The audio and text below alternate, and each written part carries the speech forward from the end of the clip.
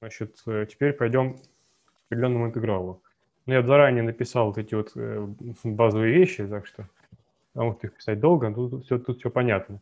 Значит, мы с вами хотим сейчас научиться интегрировать по Риману функцию f, отображающую отрезок AB во множестве вещественных чисел. И мы будем предполагать, что А меньше, чем B. Ну, естественно, значит, мы даем несколько определений. Значит, ну, вообще говоря, э, под, распри... под э, разбиением какого-то множества мы понимаем обычно э, набор других множеств, которые попарно не пересекаются, и объединение которых – это данное множество. Но вот в случае интеграла Римана удобно разбиение понимать немного в другом смысле, а именно как просто набор точек, которые расположены на этом интервале АБ или на отрезке. Значит, вот мы говорим про отрезок АБ, и вот на нем заданы какие-то точки. Значит, э, первая точка у нас всегда совпадает с А, последняя точка всегда совпадает с Б. Ну и дальше они вот расположены по возрастанию. Надо отметить, что расстояния между ними могут отличаться. Вот, то есть шаг может меняться, естественно. Вот, расстояние между точками мы обозначаем там дельта x и t где-то дальше есть xi минус 1, xi-то, и вот расстояние между xi и, и xi минус 1 это дельта xi-то. Э, вот, теперь, э, вот, соответственно, всякий такой упорядоченный набор точек x, x0 и так далее, xm, называется разбиением отрезка AB. Вот и все. А дальше, значит, мы делаем следующую вещь. Мы из каждого отрезка выбираем какую-то точку. И в этом случае соответствующие точки, выбранные из этих отрезков, называются выборкой из разбиения.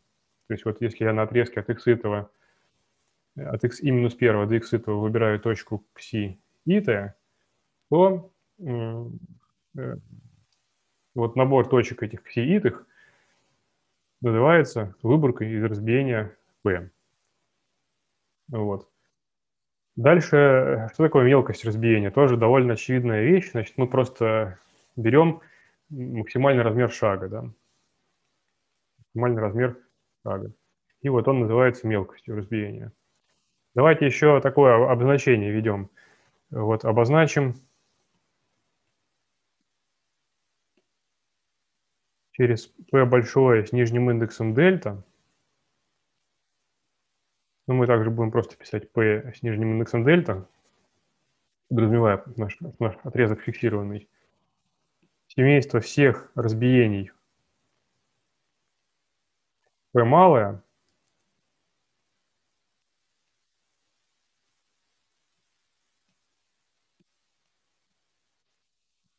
такое, э, что его мелкость меньше, чем дельта.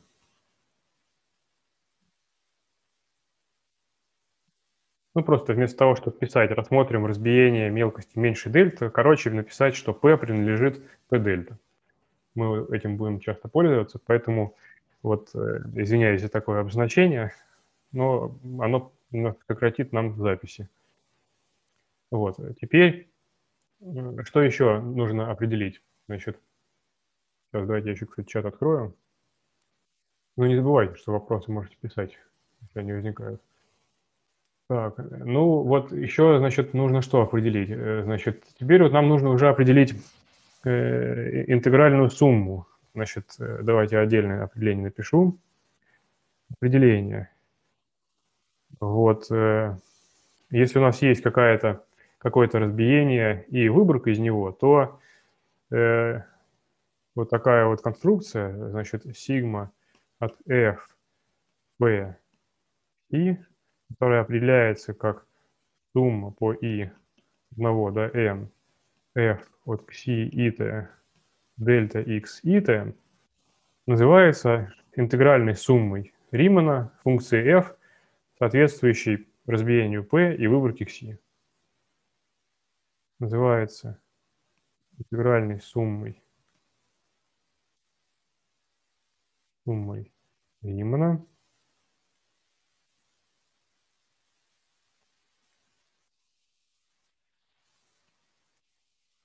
соответствующие P и XI.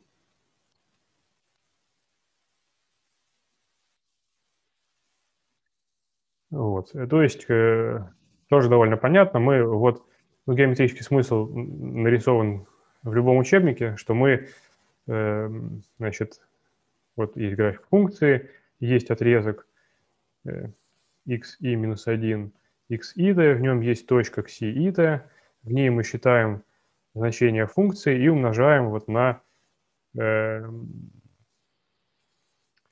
умножаем его на длину этого промежутка. Ну и вот э, складываем сумму площадей таких столбиков.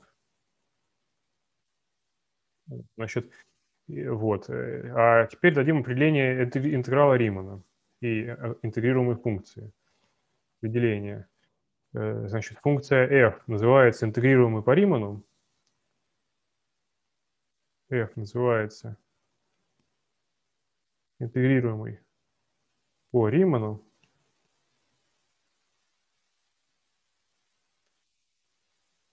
на отрезке АБ. Если, э,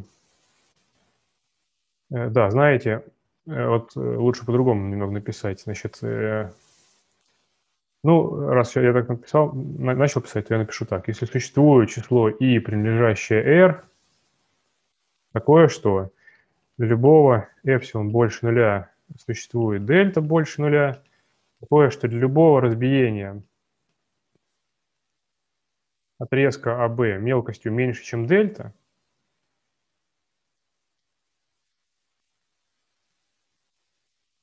выполнено, что э, модуль И минус сигма от F, P, Psi меньше эпсилона. Вот. Ну, то есть э, э, все интегральные суммы э, Римана функции f на разбиениях э, мелкостью меньше, чем дельта, мало отличаются от i. Да, значит, э, выполнено, э, я не написал для каких. Значит, естественно, для любых, для любых выборок, для любой выборки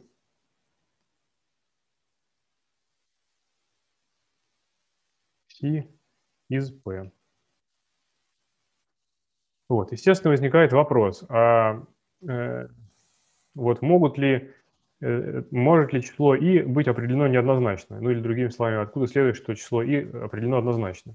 Но это просто из неравенства треугольника следует, да, потому что если таких i нашлось два, то есть, например, если i и g удовлетворяют этому определению, то э, тогда что получается? Я могу э, э взять в качестве дельты минимальная из соответствующих дельт, э, вот, и э, найти раз, э, разность, значит, и минус g меньше либо равно, вот, чем модуль и минус сигма от f p c плюс g минус сигма, ну, я лучше напишу вот по-другому, я лучше напишу сигма от f p psi минус g. Вот. И если я э, возьму достаточно маленькое разбиение, то первое слагаемое будет меньше, чем эпсилон пополам, второе будет меньше, чем эпсилон пополам. Вот. Э, ну и, э, следовательно, у нас получается, что модуль i минус g меньше, чем эпсилон для любого эпсилон больше нуля. Значит, и равно g. Следовательно, если такое и существует, то оно единственное.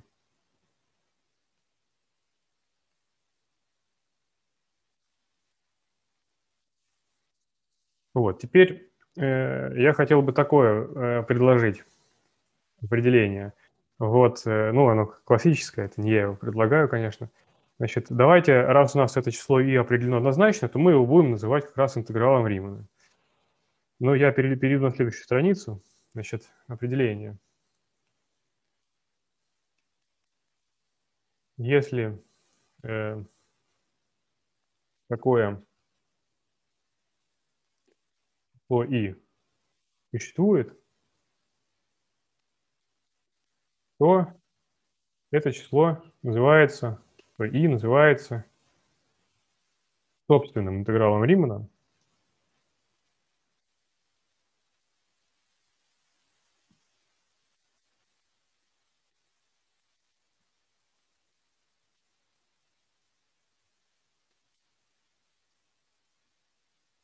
Собственно, интегралом Римана функции f э, по отрезку АБ.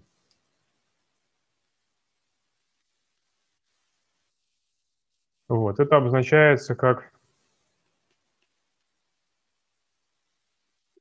пишут э, интеграл от а до b f от x dx равен i. Ну, также используется обозначение просто. Интеграл от а до b f dx. Ну, в некоторых учебниках f не пишут, точнее, в некоторых учебниках dx не пишут. Вот. Ну, э, э вот мы будем э, придерживаться классических обозначений, то есть там писать интеграл из dx. Вот. Э, значит, а функция f в этом случае называется интегрируемой по Риману. Функция f в этом случае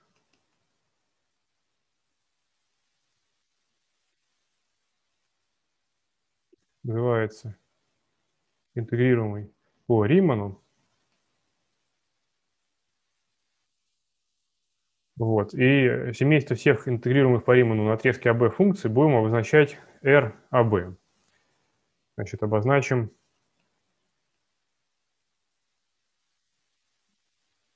через RAB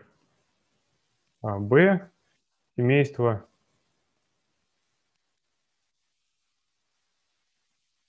всех функций из АБ в R, которые интегрируемы по Риману.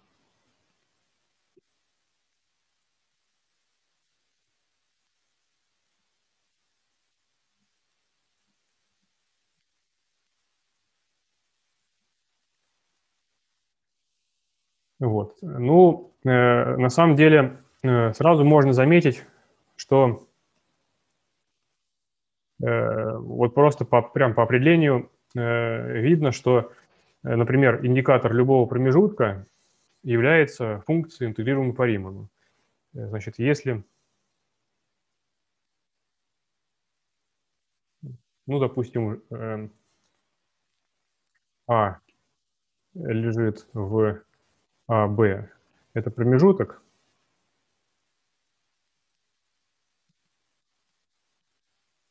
То. Вот, такой, вот такая вот функция, индикатор множества А от x, она определяется как 1, если x принадлежит А, значит, 1, если x принадлежит А, и 0, если x не принадлежит А. Вот. Ну, такая функция тогда будет интегрируема по Риману, непосредственно по определению получается, да? Вот. И, наверное, вы видите, чему будет равен интеграл Римана такой функции.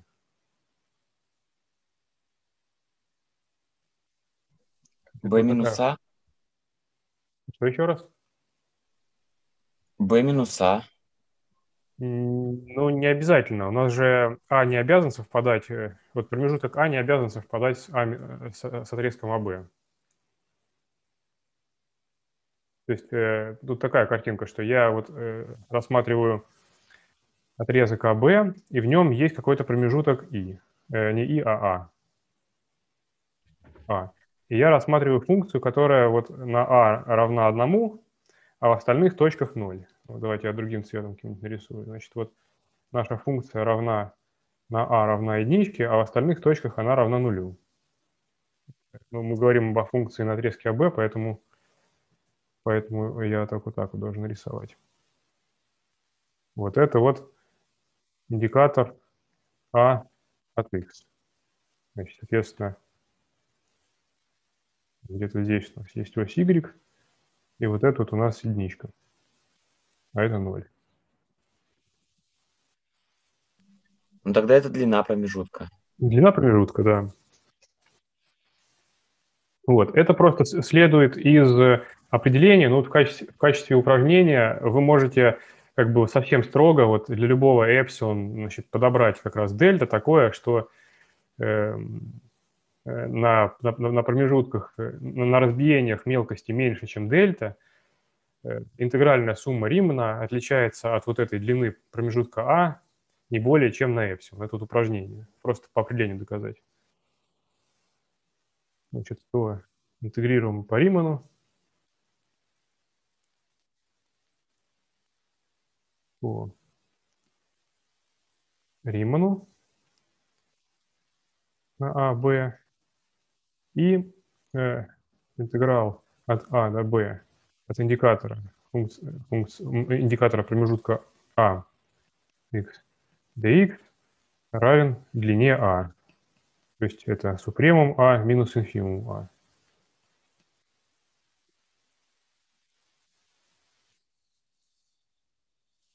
Вот.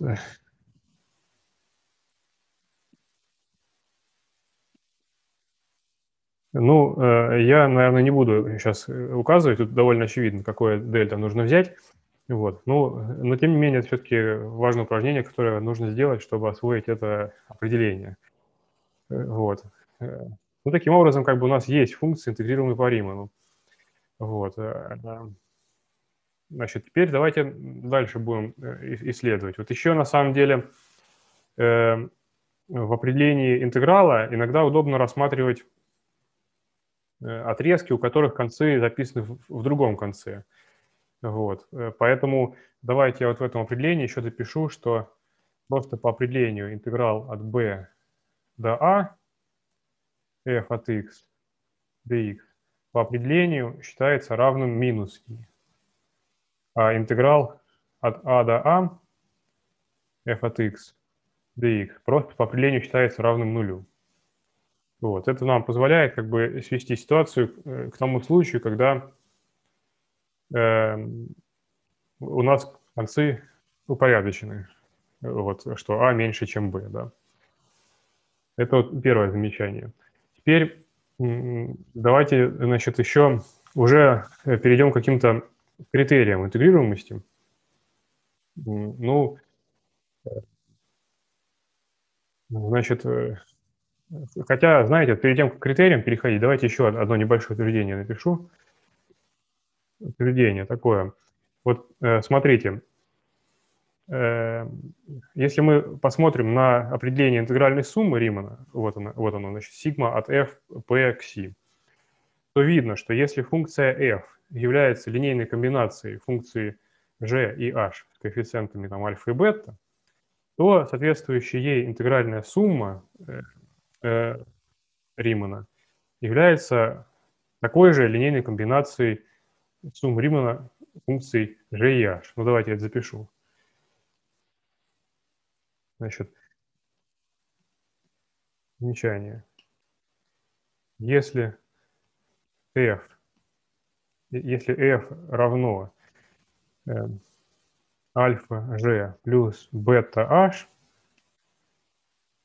то Э, сигма от f p c равно альфа сигма g p c плюс бета умножить на сигма от э, g э, от h p c. Ну, я думаю, это как бы видно просто по определению. Вот. И отсюда вот уже следует следующее замечательное свойство э, интеграла, что, что он линейен относительно функции. Значит, если, если f равно альфа g плюс бета h, где альфа и бета принадлежат r и g h, интегрируемый по Риману на отрезке АБ, то эта функция тоже интегрируема по Риману на отрезке АБ. И ее интеграл равен соответствующей линейной комбинации интегралов.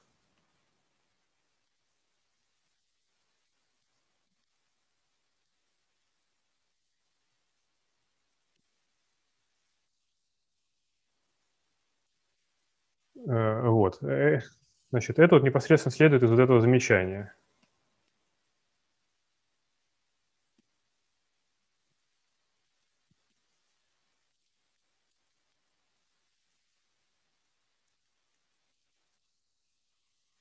Вот, ну, это как, э, э, понятно, как это доказывать, я надеюсь. То есть вот точно так же, как то, что там предел э, суммы сходящихся последовательностей равен э, сумме их пределов.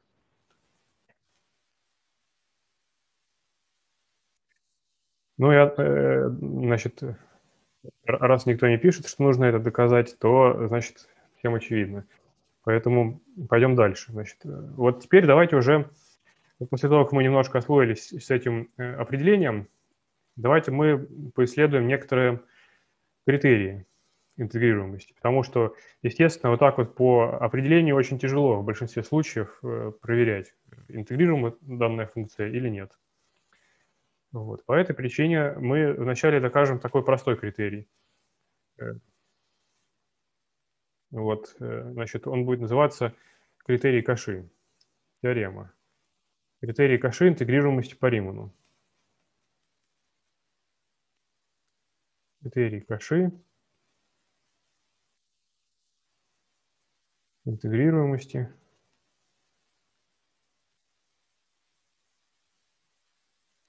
по Риману.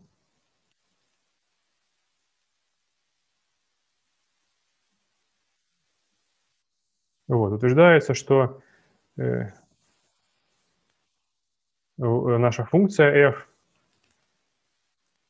интегрируема по Риману на отрезке АБ, тогда и только тогда, когда э, для любого эпсилон больше нуля существует дельта больше нуля, такое, что для любых двух разбиений P и Q мелкостью меньше, чем дельта, и любых выборок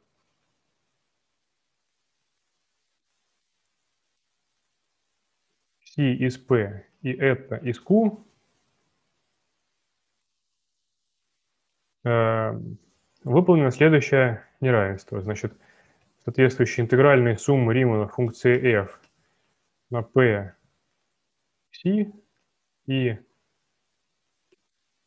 на q это отличаются меньше, чем на эпсилон.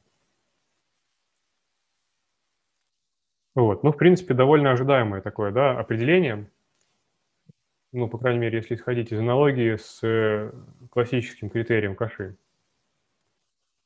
Вот. Э. Давайте докажем. Ну, во-первых, какая часть очевидна? Значит, очевидно, наверное, необходимость, да, потому что просто по определению.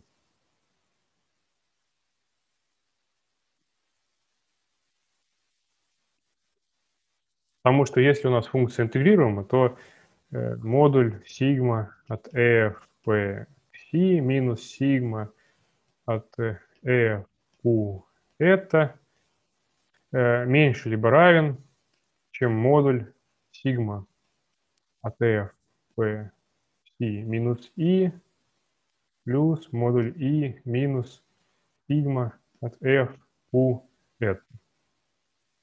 И Э, где в качестве i я беру интеграл от э, функции f. Вот. Тогда, значит, по определению интеграла Римана первое слагаемое будет меньше эпсилона, если э, выборка, э, значит, если разбиение достаточно мелкое, э, то есть если, если мел, мел, мелкость разбиения меньше, чем э, дельта, например, да. И второе слагаемое, значит, будет мен, меньше э, эпсилона, если мелкость разбиения меньше, чем дельта. Значит, их сумма меньше, чем 2 эпсилон. Вот. Тут как бы все просто. Вот. В другую сторону тоже, в общем-то, несложно. Значит, э, что мы сделаем с вами? Давайте мы эм, выберем последовательность такую. Значит, вот пусть у нас, например, эпсилон катая, пусть эпсилон ката равно 1 на k. Эм, ну и дельта ката берется из вот этого условия каши.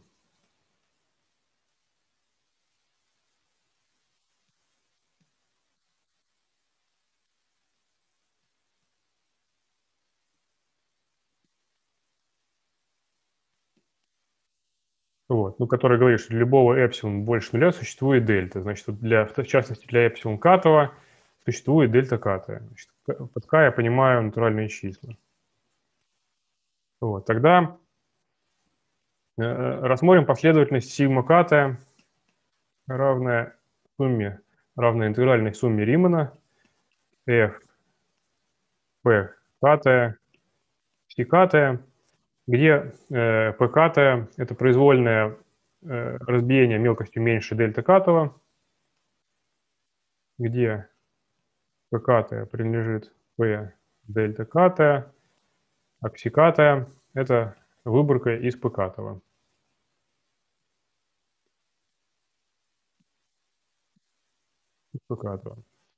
Вот, тогда в силу 1, что мы можем сказать про нашу последовательность сигма катая? Э, ну, значит, э, в силу условия 1 она у нас будет фундаментальной, да? Значит, ну, наверное, тут надо немножко поаккуратнее, правда, про дельта сделать. Значит, э, давайте мы возьмем в качестве дельта. Значит, я хочу дельта, чтобы всегда у меня была, убывающая последовательность. Значит, э, дельта ката берется из условия каши 1, так что, так что э, дельта ката меньше либо равно, чем дельта к минус 1.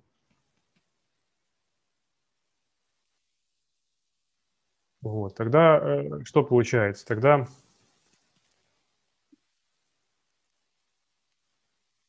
для любых э, К и L, значит, э, или давайте я так напишу, у нас n и m не задействованы, значит, для любых натуральных чисел n и m,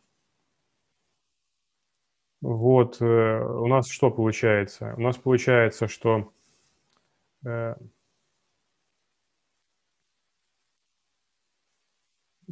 что мелкость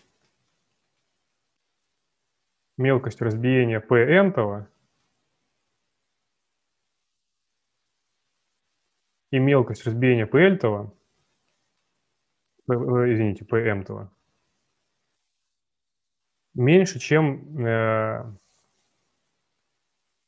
значит, получается меньше, чем э,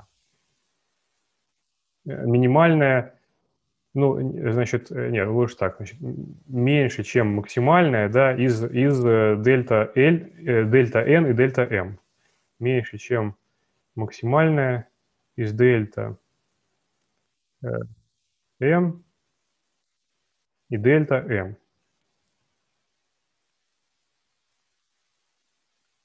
Вот, просто как бы э, понятное условие, да? Вот. И э, тогда получается, что в частности у нас э, сигма, значит, модуль сигма n минус сигма m будет э, меньше, чем что? Будет меньше, чем э, 1 на, на максимальное из m и n. Потому что получается, это, э, значит, э, сигма n и сигма m – это интегральные суммы, отвечающие разбиением мелкость которых меньше, чем максимальная из э, дельта n и дельта m, а для всех таких разбиений в силу условия 1, э, значит, э, разность соответствующих интегральных сумм меньше, чем эпсилон. Да, поэтому получается здесь будет ну, меньше, чем эпсилон, соответствующая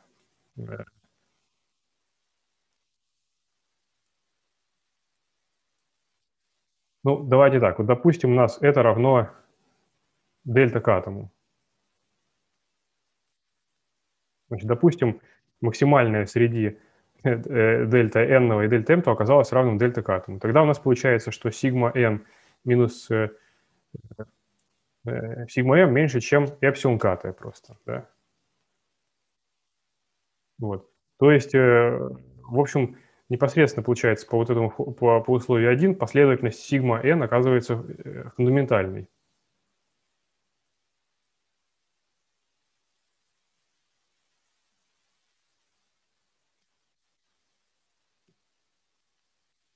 Это числовая последовательность.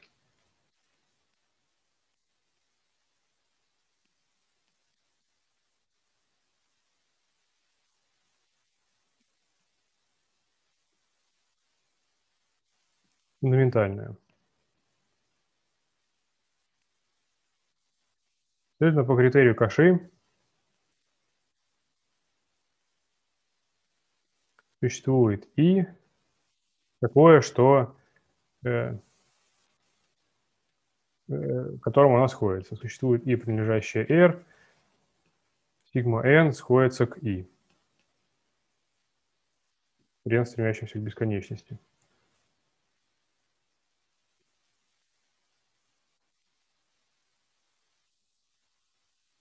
Вот. На самом деле получается, что дельта ката даже не обязательно э, подчинять вот этому условию, что, э, что у нас э, дельта ката меньше или равно, чем дельта к минус первого.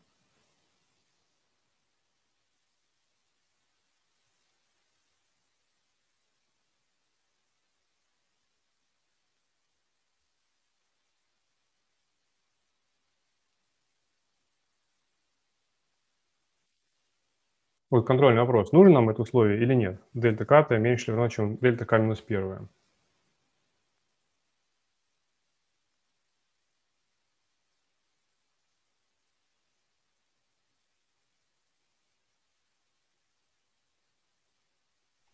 Нужно. Потому ну. что нам нужно, чтобы фундаментальная последовательность дельты была, а, а по ним мы уже строим сигму. Ну да. Вот э, нам же нужно, чтобы вот это вот условие было, э, значит, что, что сигма n минус сигма m было выполнено меньше, было меньше, чем эпсилон ката э, для всех э, э, для, для всех n и m больших, чем k, допустим, да?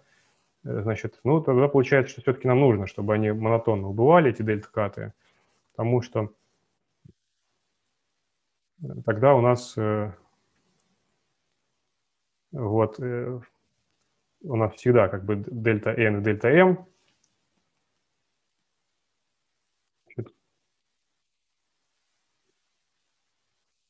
Э, ну, лучше, да, получается написать так, что тогда для любого натурального k, если у нас n и m больше либо равны k, то максимум из дельта n и дельта m будет э, в любом случае меньше либо равен дельта катова. Вот. Э, ну и тогда, значит, получается, что у нас вот это условие будет выполнено.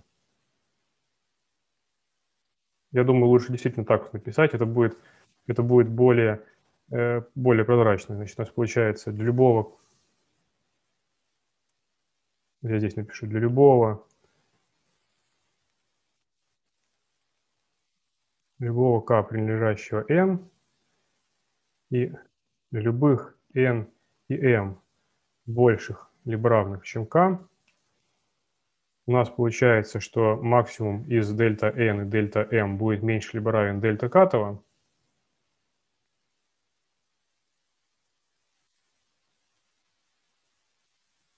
Максимум от дельта n дельта m меньше либо равен дельта катова. Ну и, следовательно, получается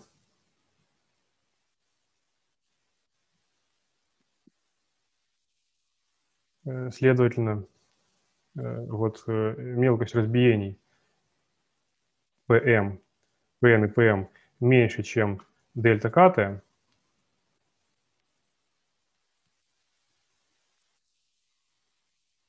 Вот. А значит, сигма n и сигма m отличаются не больше, чем отличаются меньше, чем на эпсилон кт. Ну, вот так вот более аккуратно получается доказательство.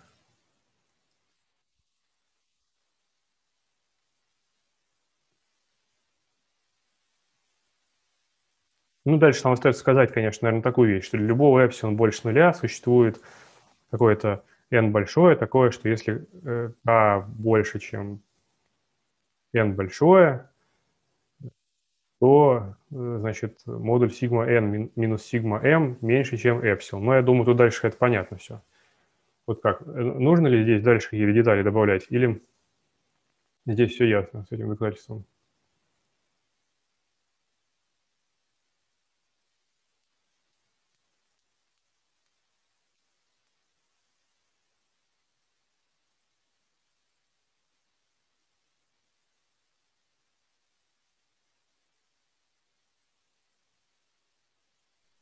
Ну, нужно.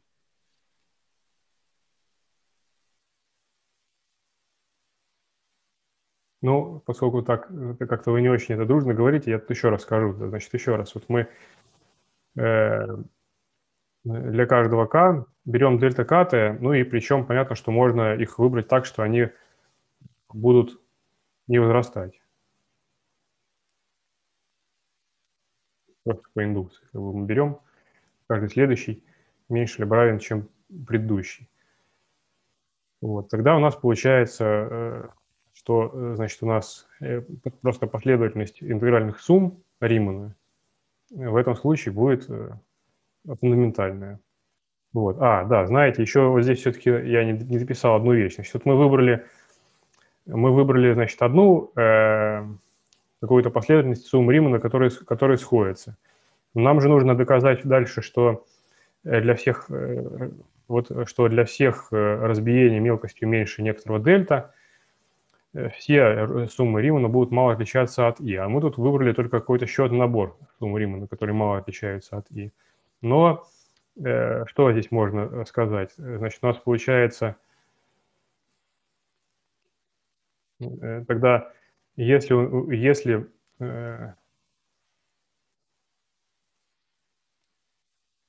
Если мелкость разбиения, значит, если P – это разбиение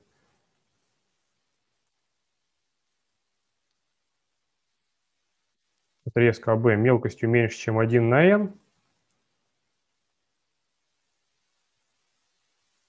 то э, что мы отсюда можем э, сказать?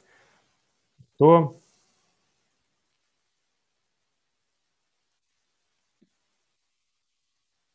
модуль сигма от f p c минус i меньше либо равно, чем модуль сигма от f p c минус сигма n. Да, только надо брать, э, значит, ну, сейчас э, мы посмотрим, какое, какое, какую мелкость надо взять. Значит, тут идея такая. Я хочу взять достаточно мелкое разбиение, значит, вот э, сигма, си, сигма минус сигма n плюс модуль сигма n минус i. Вот. Второе слагаемое стремится к нулю при n стремящемся к бесконечности. Значит, я могу выбрать n такое, что, э, что сигма n минус i меньше, чем эпсилон пополам, правильно? Вот. Зафиксировав такое n, Значит,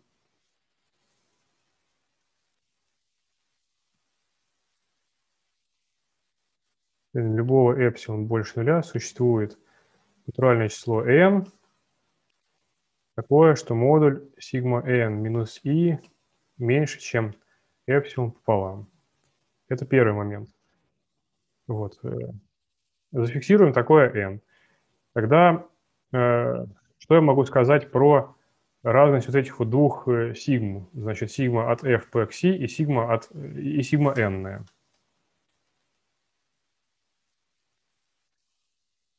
Э, ну, тогда, значит, здесь я могу в качестве... Э, значит, я хочу просто воспользоваться этим условием 1, условием каши. Ну, значит, оно будет выполнено для всех достаточно мелких разбиений, да? Поэтому что получается? Значит, э,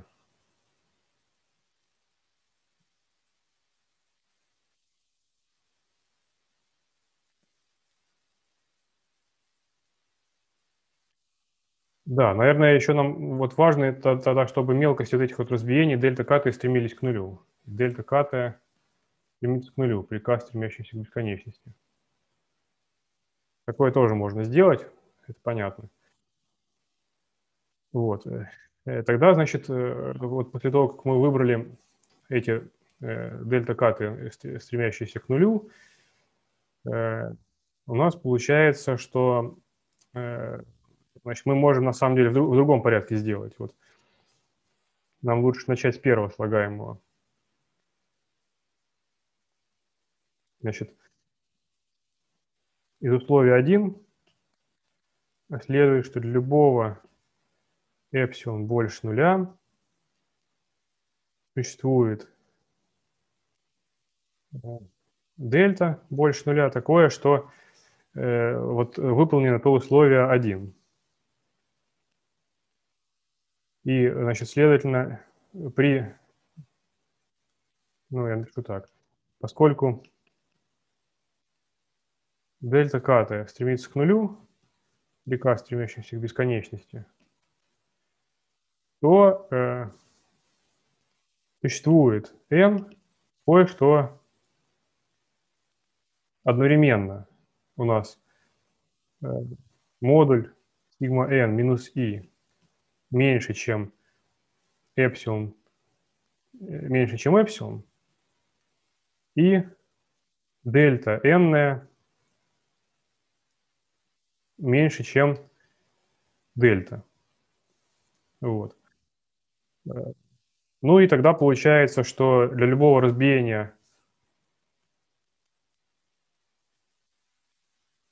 если длина разбиения p, если мелкость разбиения p меньше, чем, э, меньше, чем дельта,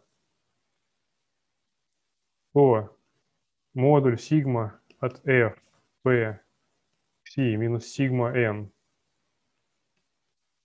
меньше, чем эпсилон, второе слагаемое меньше, тоже меньше, чем эпсилон. Значит, получается, что, следовательно, модуль сигма от f p psi минус i меньше, чем 2 эпсилона.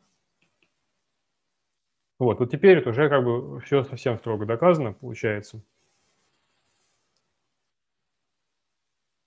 Вот, но я хочу просто сказать, что это, это доказательство в идейном плане довольно простое. Мы, пользуясь условием 1, выделяем последовательность интегральных сумм, которая фундаментальна, ну и дальше доказываем, что остальные интегральные суммы от нее мало отличаются.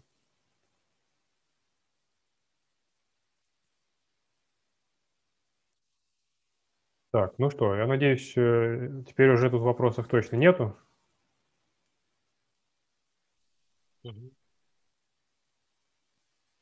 Вот. Спасибо, что вы внимательно следите. Значит, теперь пойдем дальше. Ну, вот этот критерий хороший, потому что, э, значит, в чем как бы смысл критерия Каши, вот этого критерия Каши интегрируемости по Риману? В том, что мы можем, э, так сказать, не гадая, чему должен быть равен интеграл от функции f, Э, проверить, будет она интегрируема или нет. То есть здесь, как видите, в этом условии сам интеграл, значение интеграла никак не входит. Ну, то же самое, как и для последовательностей, для критерия конфликт последовательностей. Вот. А поэтому теперь э, вот мы можем, например, пользуясь этим, этим, этим критерием каши, привести пример э, какой-нибудь функции не интегрируемый по Риману. Вот давайте мы, например, классический пример рассмотрим такой.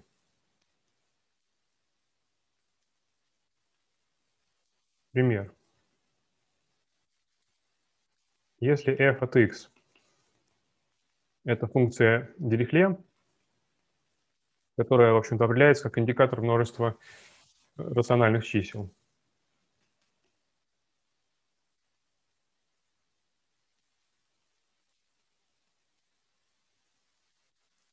то f не принадлежит RAB, то есть не интегрируем по Риману на ни на каком отрезке АБ. Вот. Ну, что, значит, докажем по критерию Каши. По критерию Каши у нас получается такая вещь, что э, существует, значит, допустим, для эпсилон равного э, чему? Ну, допустим, 1 на 2b минус а. Существует дельта, такое, что если у нас, э, если есть два разбиения мелкостью меньше дельта, если p и q принадлежат p дельта, то для любых выборок phi и это из p, q, значит, модуль сигма, модуль сигма от p, модуль сигма от f, p, q минус сигма, вот, э, f. Э, так, не, не Q тут, значит,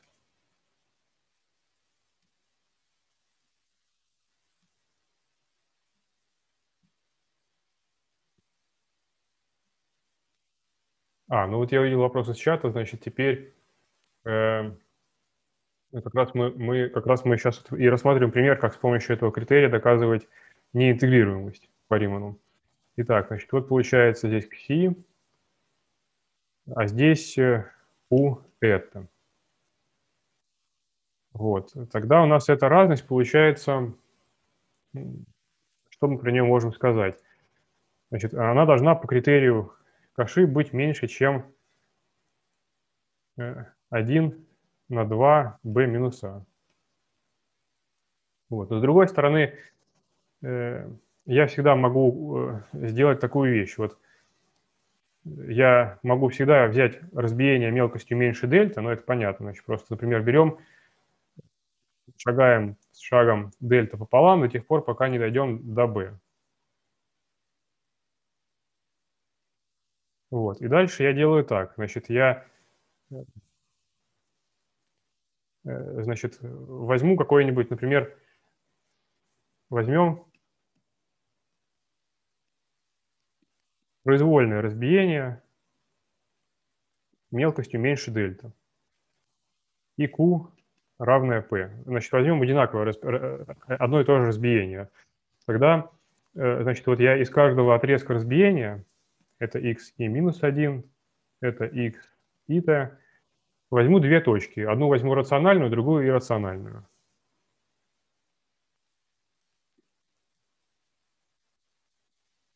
Берем кси и t, принадлежащее q,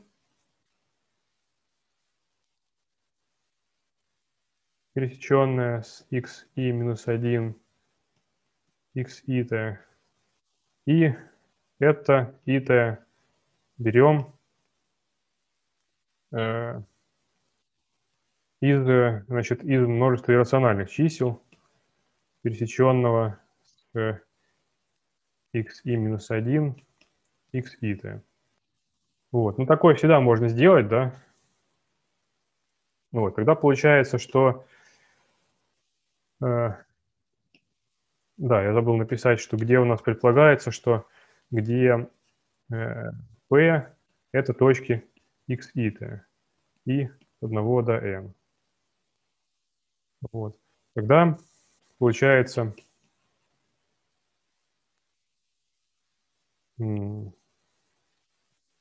Э, тогда будет выполнено следующее свойство. Значит, там мы можем просто явно посчитать сигма от f p psi.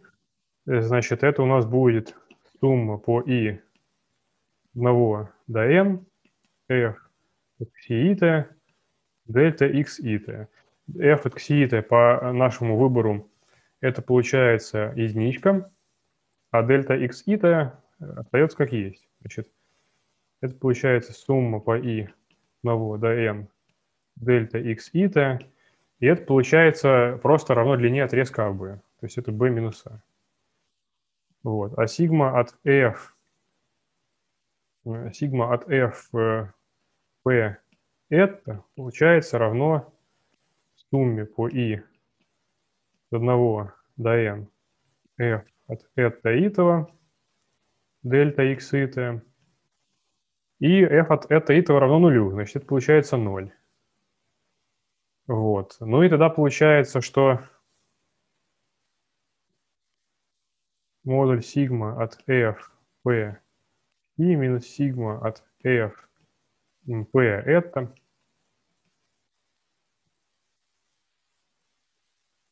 равно b минус a b минус a. Так, значит, а в качестве эпсилон лучше брать тогда не такое, я какую-то ерунду написал. Давайте мы в качестве эпсилон возьмем b минус a пополам.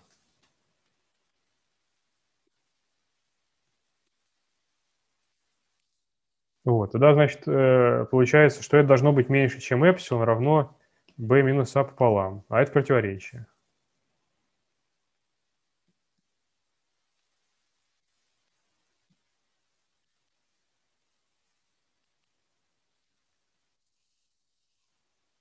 Вот. Ну, как видите, значит, э, таким образом можно доказывать с помощью критерия Каши, что какая-то функция не интегрируема по Риману. Вот, потому что по определению это доказывать вообще неудобно, потому что нужно, грубо говоря, перебирать все возможные значения интегралов и доказывать, что они не являются значениями интеграла. А тут как бы вот по критерию Каши очень просто получается. Так, значит, этот пример мы разобрали. Э, теперь давайте следующий критерий докажем. Ну, я напомню, что для любого множества, ну, скажем, А, лежащего в АБ, колебанием функции f на множестве А называется такая вещь. f, значит, омега от fa является как премум по x, y принадлежащим А, модуль f от x минус f от y. Ну и понятно, что на самом деле этот супремум можно написать как, как супремум f по А минус инфимум f по А. Вот, тогда получается что? Тогда получается, что э, значит, мы можем вот теперь уже с помощью вот в терминах этого, этого колебания дать новый критерий интегрируемости по Риману. Значит, я забыл написать, что эта штука называется, называется колебанием f на множестве a.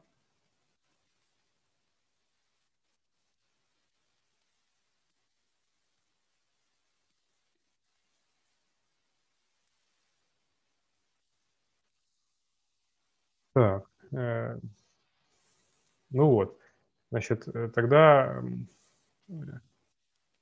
следующий будет критерий. Значит, мы будем называть его следствием критерия Каши.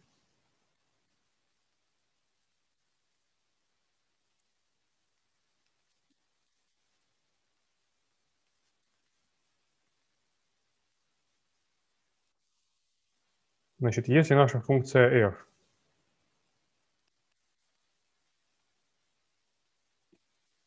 Значит, если функция э, f отображает из отрезок АБ в R,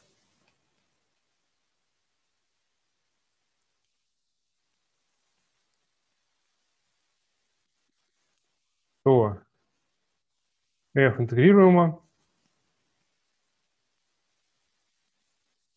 тогда это только тогда, когда любого эпсилон больше нуля существует дельта больше нуля, такое, что взвешенное колебание функции f на разбиении p э,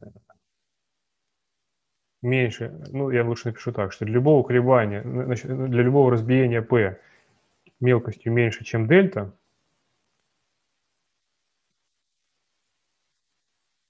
выполнено, что взвешенное колебание функции f на p меньше, чем эпсилон где э, взвешенное колебание функции f на разбиении p определяется как э, сумма по i с 1 до n. Значит, э, здесь предполагается, что p образовано точками x и t и 1 до n. Значит, это будет сумма по i от 1 до n.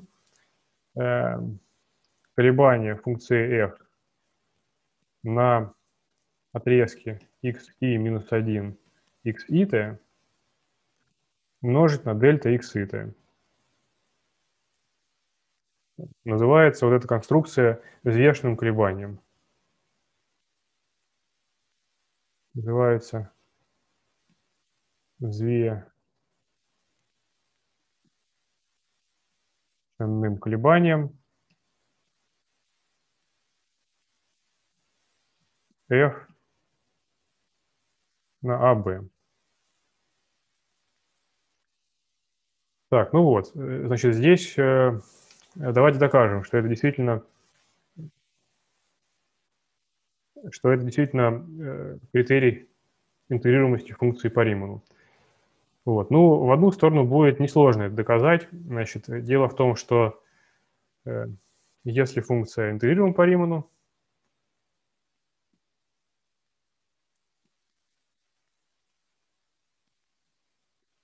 то любого эпсилон больше нуля существует дельта больше нуля. Такое, что сигма от э, f э, p c мало отличается от сигма от f у это.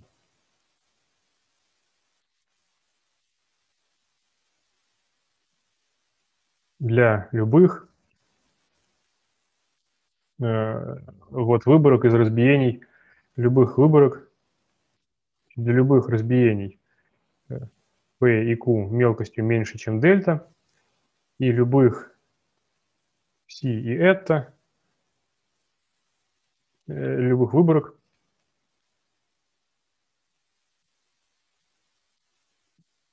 C это из P и Q.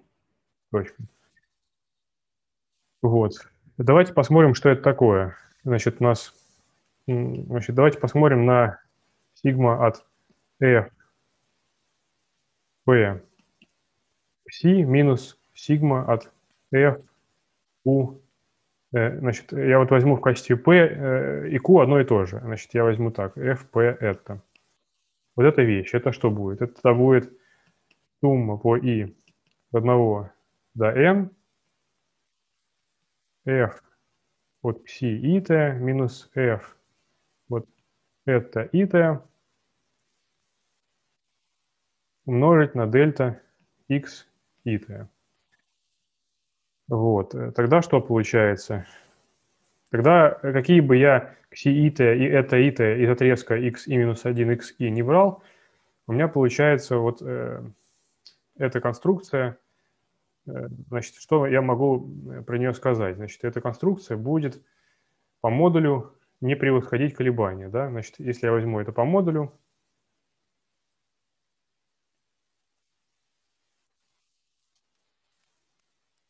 то она будет не превосходить колебания.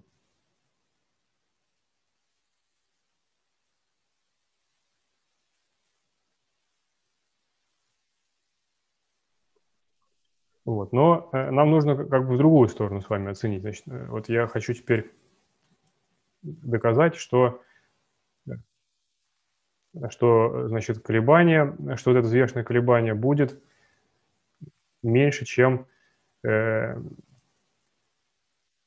будет меньше, чем эпсилон, да. Но понятно, что я всегда могу кси и это, и это выбирать так, что знак вот этой разности будет один и тот же. Значит, вот. Всегда можно выбрать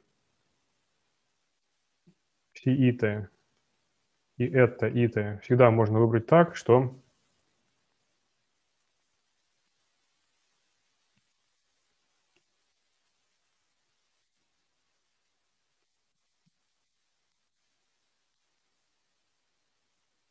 так что f от ксиитова минус f от это этого больше нуля. Вот. Ну и поэтому получается, что у нас вот эта вещь, она будет... Э,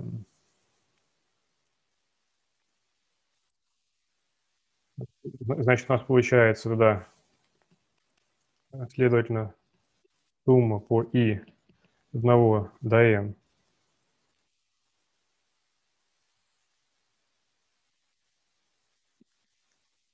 f от xi ит минус f от это ит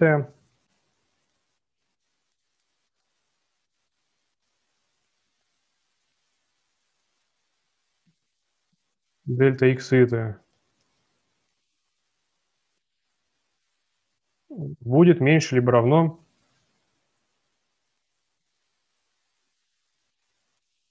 э, чем э, эпсилон.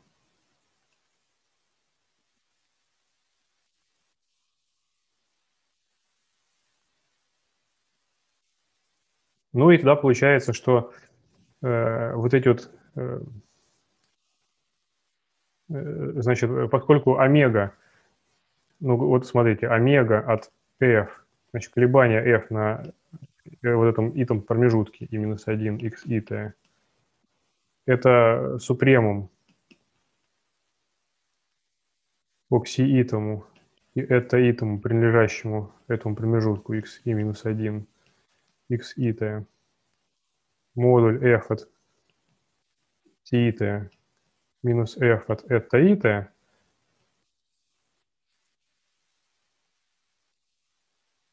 Э, да, значит, я коряво это немножко пишу, но тут на самом деле понятно, что на самом деле просто вот, вот, вот в этом определении, вот этот супремум, который здесь записан, можно было бы проще написать, можно было бы написать, что это просто супремум по x, y, принадлежащим э, f от x минус f от y. Правильно? Вот, потому что э, брать пару x, y – это то же самое, что брать пару y, x. И э, тогда как бы со знаком мы можем делать все, что хотим. Вот, поэтому получается, что как раз у нас э, супремум суммы меньше либо равен суммы супремумов. Э, это, это, это с одной стороны. А с другой стороны у нас получается, что Э, значит, у нас для любого выбора точек хита и это ита из, э, из э, вот этих вот отрезков, значит, x ита, x минус 1, x ита, у нас получается, что сумма вот этих вот разностей, умноженных на дельта x ита, будет меньше либо равна, чем эпсилон. Вот. Ну и, значит, поскольку у нас Э, взвешенное колебание – это супремум, то отсюда автоматом получается, что омега от f p меньше, чем эпсилон. Ну что, э, значит, понятно это рассуждение или нужно уточнить?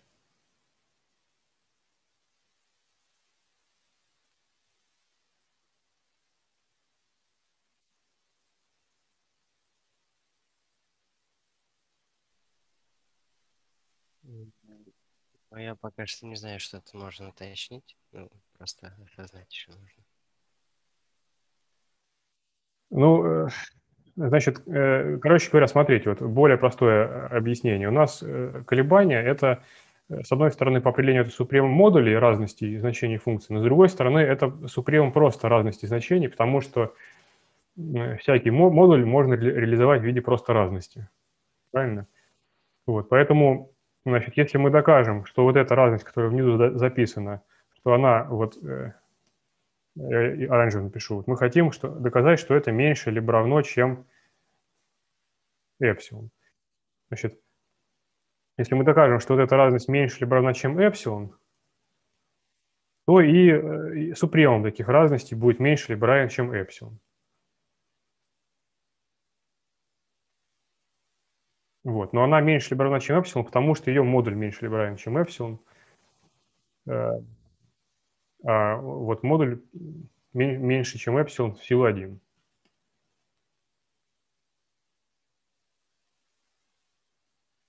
Ну, я немного не оптимально это дело записал. Значит, мне э, хочется немного улучшить это изложение. Значит, э, тут получается что? Значит, сигма от fp к си минус сигма от fp это у нас э, сила силу условия 1 меньше либо равно эпсилон.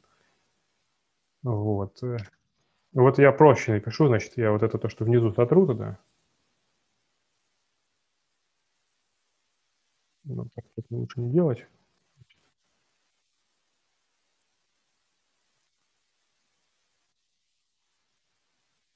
Значит, это вот сила 1.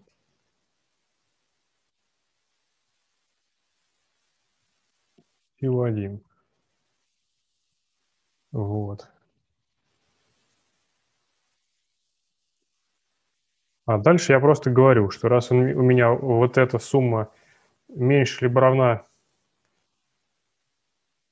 меньше либо равна эпсилона для любых при любых сиита, это ита, принадлежащих x и минус 1, x ита. Ну, а значит, тогда и супремум таких сумм, следовательно, омега от f, p, получается, оно равно супрем, значит, супремум по сиитам, это итам, принадлежащим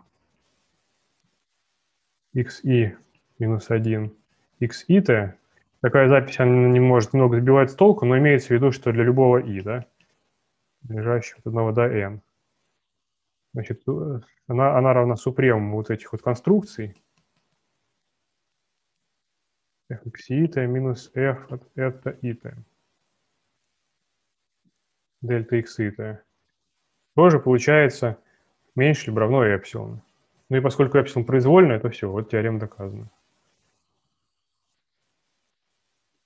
Как мы получили последнее? Последнее это что? Про эпсилон? Или про то, что омега от FP это супремум вот этих вот сумм?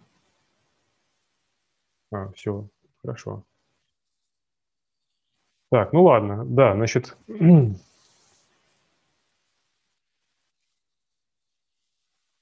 Вот. Эм, ну вот мы доказали э, этот э, в одну сторону, значит, мы доказали в одну сторону сейчас с вами. Значит, мы доказали, значит, необходимость доказана.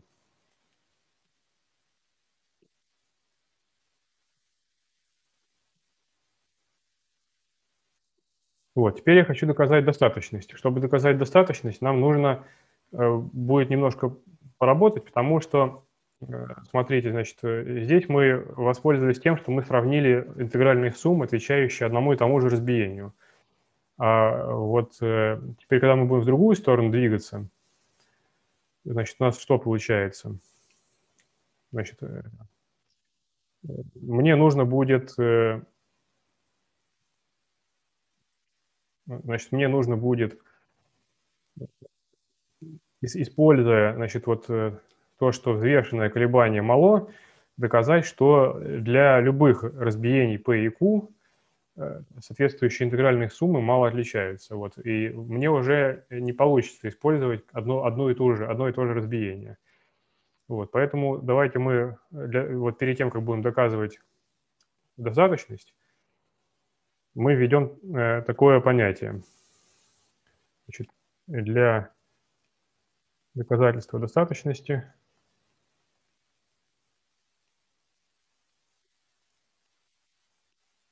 введем понятие общего измельчения.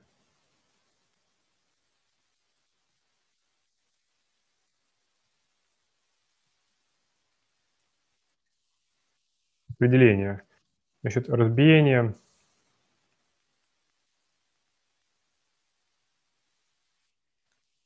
R отрезка АБ состоящее из всех точек разбиений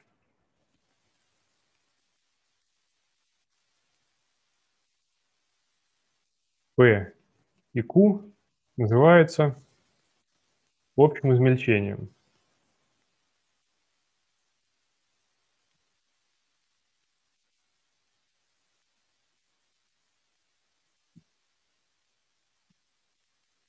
По Ну, это на самом деле довольно простое понятие. Вот если у меня есть э, отрезок АБ, и есть два его разбиения. Значит, вот давайте я их изображу. Допустим, вот красными э, отметками нарисовано разбиение P,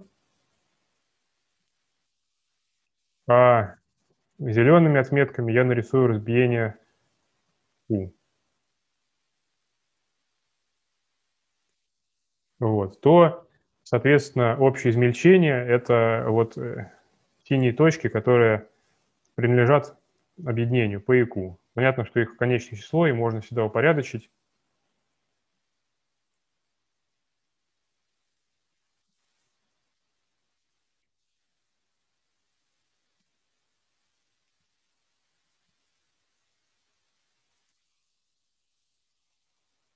Вот, значит, вот, ну, значит, э, геометрически как бы понятно, что такое общее измельчение.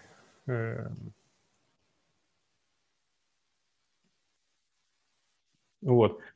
И поэтому, э, значит, теперь будем доказывать достаточность. Значит, вначале рассмотрим такой случай. Пусть, пусть любого эпсилон больше нуля существует дельта больше нуля, такое, что взвешенное колебание функции f на любом разбиении p мелкостью меньше, чем дельта, меньше, чем эпсилон. Вот. Пусть вначале, пусть Q – это какое-то э, разбиение АВ, являющееся измельчением P. Значит, пусть P, э, пусть Q – это измельчение P.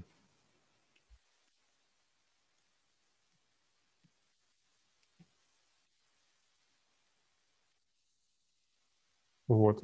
Что здесь имеется в виду? Значит, ну, здесь имеется в виду, что э, значит, имеется в виду, что Q является каким-то набором точек Y и T. Или давайте лучше напишу Y G T, чтобы у нас были разные индексы в виде Y G T, где G от 1 до M. Это измельчение P которое равно набору x итых и от 1 до m. Э, не от 1, а от нуля. Мы всегда от нуля нумеруем точки разбиений.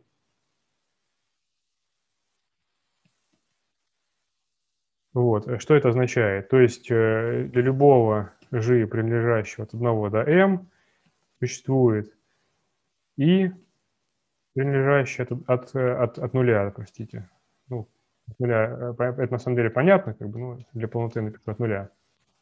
От нуля до n э, существует и от нуля до n такое, что x, э, что y, что эм, э, не, неправильно я сказал. Значит, что, я, я хочу сказать, что все точки разбиения, значит, то есть все точки все точки P принадлежат Q.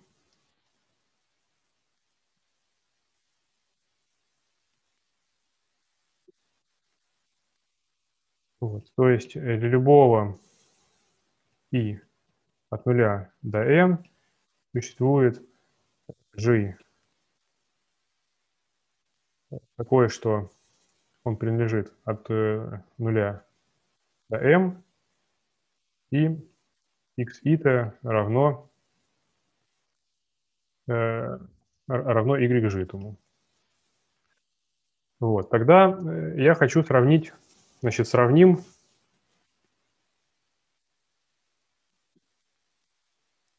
пусть си ита принадлежит э, значит, пусть кси, ну, естественно так, значит, кси это пси и от 1 до n выборка,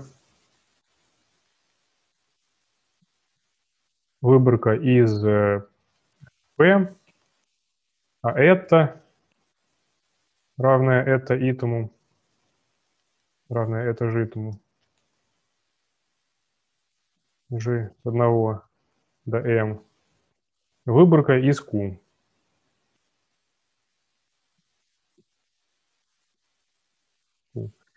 Значит, ну, я поясню, что значит, что Q измельчение P. Значит, вот, допустим, для простоты P состоит из трех интервалов.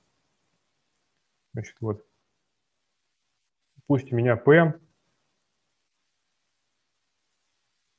состоит из x0, x1, ну, допустим, это тут xi минус 1,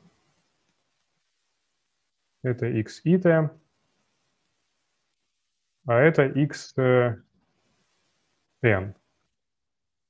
Вот, значит, тогда э, что получается? Тогда получается, значит, а y – это его измельчение, то есть предполагается, что, э, ну, не y, а, а q, да, значит, вот q уже будет состоять из каких-то других точек, но всякая точка разбиения x является точкой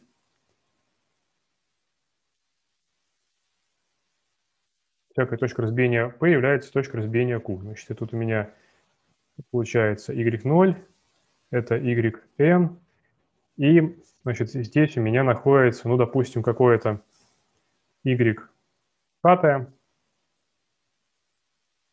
а это какое-то yk плюс l.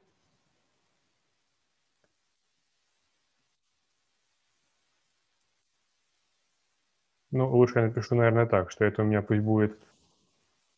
Ну ладно, y а это y l Неважно.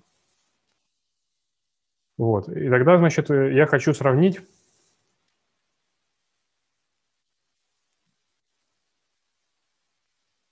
Сравним соответствующие интегральные суммы Римана. Сигма от f p i равная сумме по i от 1 до n f от и t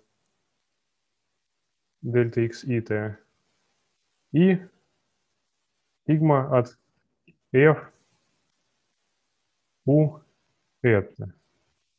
Ну, оно аналогично определяется как сумма по g 1 до m.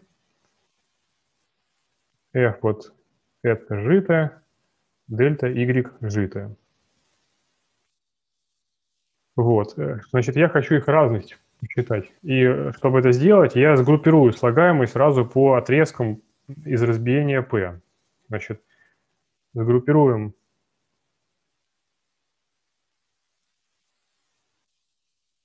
Значит, сгруппируем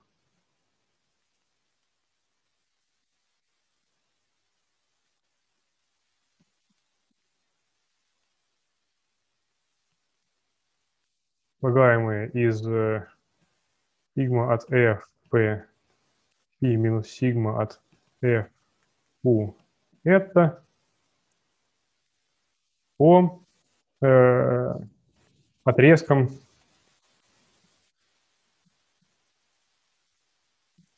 x и минус 1, x и t. Вот, тогда что у нас будет? Тогда у нас там будут слагаемые такого вида. Значит, э, будет f от си умножить на дельта x и минус сумма по g э,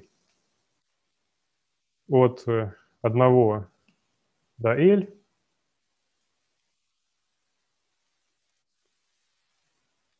э, Так, значит, вот тут будет такая вещь. Значит, здесь будет f от это житого умножить на дельта, ну, значит, по, по g от, э, от k плюс 1, да, будет до L дельта y житая.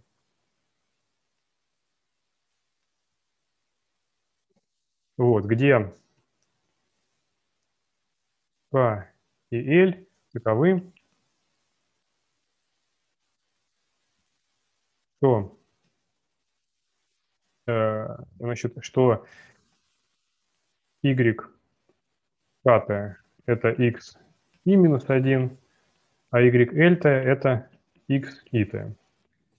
Вот, тогда что получается? Тогда, э, значит, смотрите, ведь у меня дельта x и t будет равно сумме вот этих вот дельта y житых. Вот эту, эту сумму я тогда могу написать так. тогда это будет сумма по g от k плюс 1 до L, f от кси ит минус f от это житое.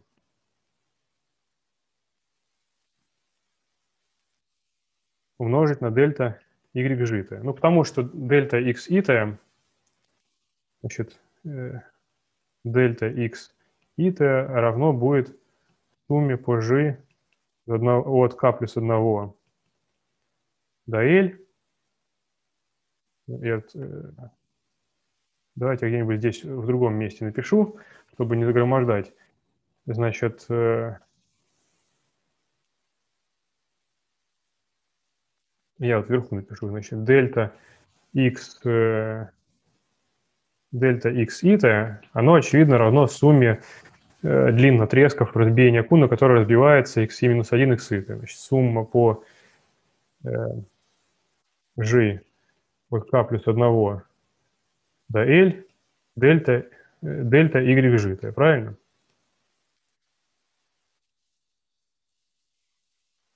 Вот. Э, То есть вот этот вот один красный отрезок, он разбивается на зеленые отрезки.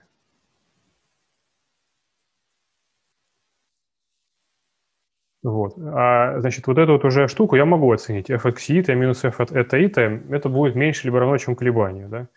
Поэтому это получается меньше либо равно. Э, ну и даже по модулю меньше либо равно значит, это будет э, меньше либо равно, чем э, колебания.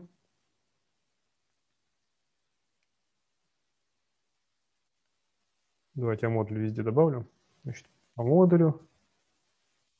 Меньше либо равно, чем сумма по g а плюс 1 до L модуль f xi и минус f от это житое, дельта y житое равно, значит, это будет меньше либо равно, чем сумма по g от k плюс 1 до L, колебания f на, э, вот здесь будет важно, что x и минус 1, x и t.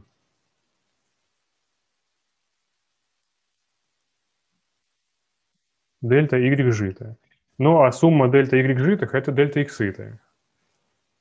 Вот. Поэтому получается, что сумма колебаний у нас меньше будет, чем... Значит, следовательно, сумма колебаний, сумма по и с 1 до n. F от phi и t дельта x и t минус сумма по g 1 до m. F от это житое дельта y житое по модулю, значит, я смотрите, что делаю. Я как бы вот для, для каждого i я э, э, соответствующим образом применяю вот это предыдущее рассуждение про оценку, про оценку и получаю, что Значит, давайте я вот допишу все-таки эту формулу, извиняюсь. Значит, у нас получается э, оценка, окончательный вид предыдущей оценки, он такой. Получается, что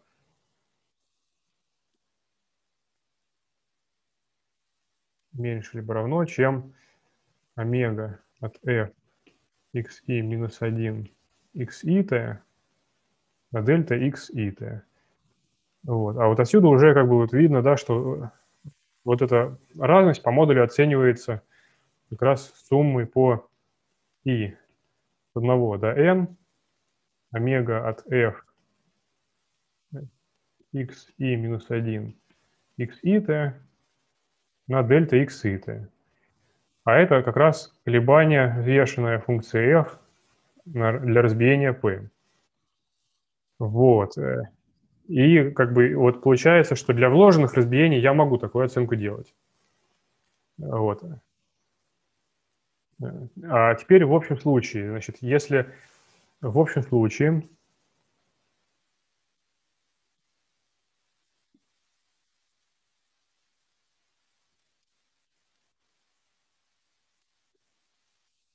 Если э, есть два разбиения, если P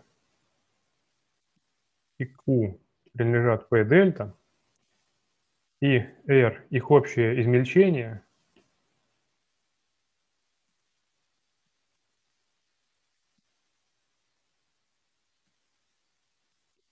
раз это их общее измельчение, то его мелкость будет меньше, э, будет меньше тоже, чем дельта, да? Ну, понятно. Меньше либо равна. Не, ну, строго меньше, потому что она меньше либо равна, значит, меньше либо равна, чем максимальная, да, в любом случае, из, из, из, из мелкости разбиений по ИК.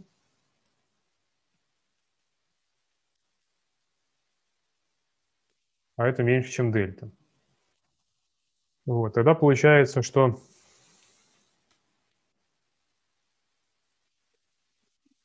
тогда получается, что э, я могу оценить, значит, модуль сигма от f, p, c минус сигма от f, q это меньше либо равно, чем модуль сигма от f, p, c. Вот, минус что, значит, вот минус сигма от ну, значит, э, теперь смотрите, значит, э, вот какую, какую выборку нужно взять, соответствующую э, общему измельчению, да? Ну, значит, раз у нас в каждой точке, значит, да, надо выборку какую-то для, для, значит, надо здесь дописать какую-то выборку для Так, ну, значит, я э, вижу, во время закончилось. Я сейчас договорю тогда, и э, желающие могут записи посмотреть. Я сейчас, э, значит, закончу это доказывать, и на этом на сегодня закончим. Э, так вот, значит, получается, что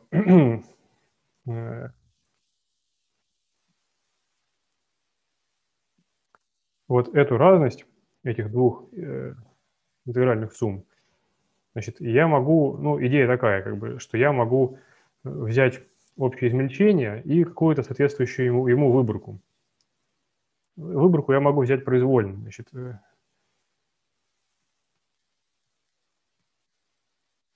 возьмем произвольную.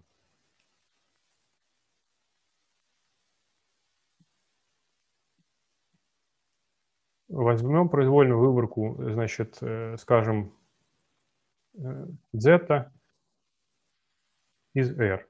Ну да, здесь будет э, такая вещь, значит, сигма от f p к c, сигма от f r z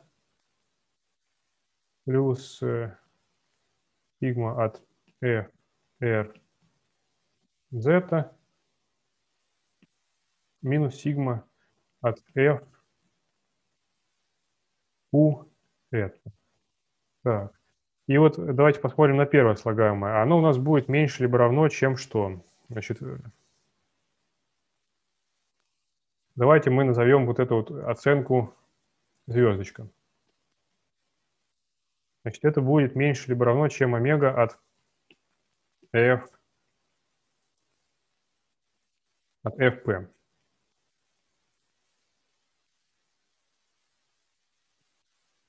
Фил звездочка. А вторая разность будет меньше либо равна, чем омега от FQ, тоже в силу звездочки.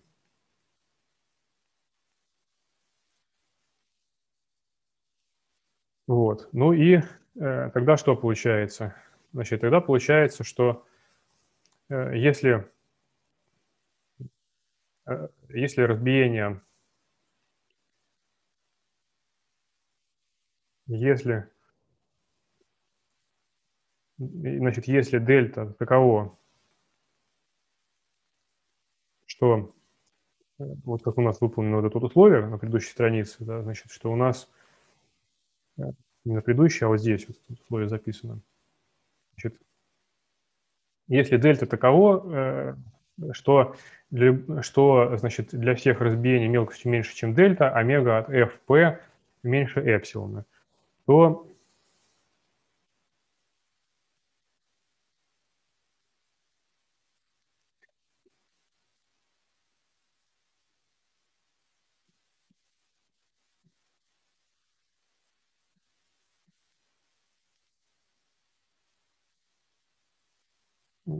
мелкостью меньше дельта,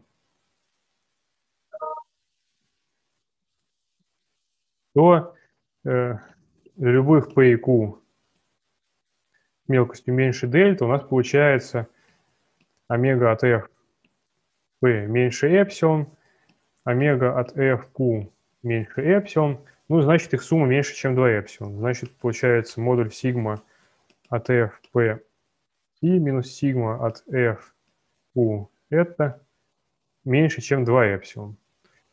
Вот. Ну и все, и получается тогда, что, э, следовательно, по критерию Каши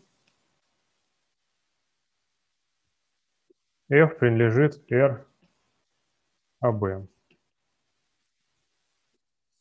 Ну, на самом деле, как видите, ничего сложного здесь нету, просто, э, значит, вот аккуратно нужно расписывать вот эту сумму.